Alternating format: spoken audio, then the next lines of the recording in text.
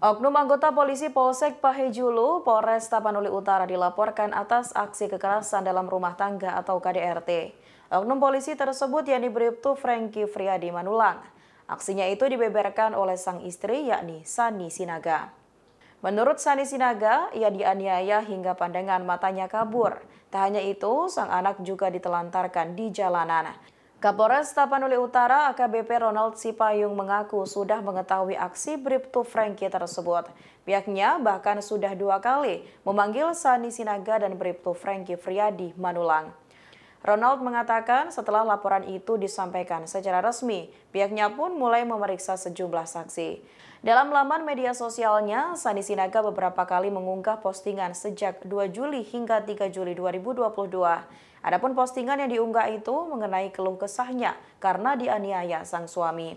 Pada postingan 2 Juli, Sani Sinaga mengaku pandangan matanya sampai kabur karena menjadi korban KDRT. Terima kasih sudah nonton. Jangan lupa like, subscribe, dan share ya.